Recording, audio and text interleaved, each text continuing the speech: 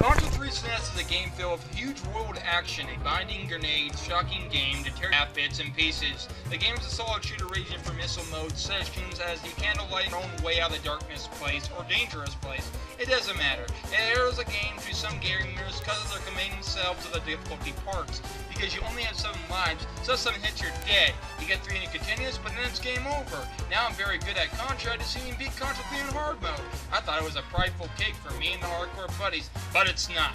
But you must have to analyze yourself and be focused whenever a bullet hits at you, then jump over the fucking thing.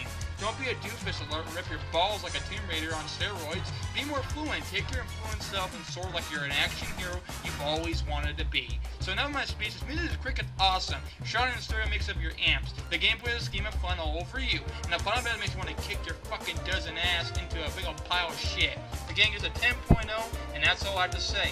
Play this game. Fuck yeah! Love the burrito.